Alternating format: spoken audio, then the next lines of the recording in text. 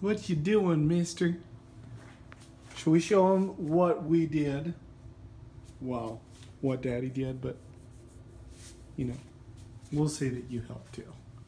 So, we have our ventilation systems up and running on the tanks.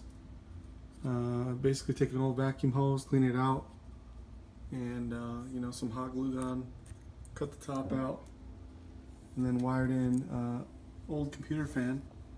This particular one was a little different. I had to use a little bit more tape uh, to wrap it up, make it work correctly. And I actually do have a little bit of outside air coming into it. It's actually a fan that pulls from the bottom as well as the top. Uh, I had this taped off, but I found that it works a little bit better. Still retains humidity, but keeps the glass from fogging up, kind of like that. So it's nice. Fresh air. You know, the moss helps the moss, helps the vermilion. Oh, pink star there, and oh, there's a little guy. Just a single big Azureus in there. I'm gonna get him a female soon, but and then this one is a closed loop instead of like the other one. So same thing, adapted as a Ziploc container, a hot glue gun in the bottom, uh, sealed off the wiring, of course wired in to a USB. Uh, same thing, just put that one in. I'm gonna need to cover that up there, some like mesh.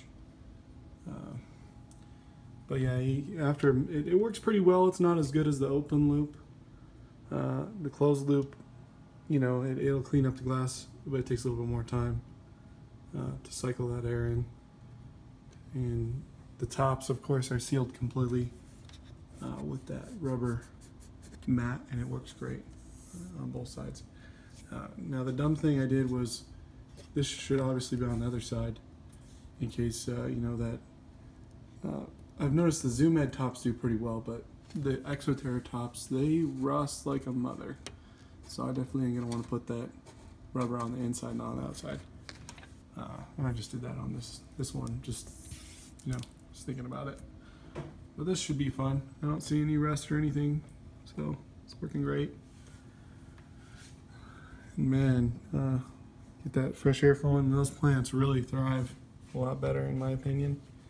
You know, you don't really need it because if you have proper setup, the plants will, um, you know, create the fresh air, the fresh oxygen. But you know, it, it does help, in my opinion, to have something going. And I just got this set up. I looked into it, and I'm eventually going to redo this one. Hopefully, I actually want to trade this in for a Zoo Med. I don't know why. I just like, you know, I could see the advantages. Exo Terra a little taller, should have been a little shorter. I think they're both great tanks. I just think, uh, for me, I prefer the simplicity of the this one, single door, lower down, and then I don't have a special lock, you know. But which is funny because I, so in some instances, I prefer that because of Terra products. So, just comes down to personal preference. Come around the back. Have the USB hub and all the wiring. Monsoon Mister back there. Looks pretty great.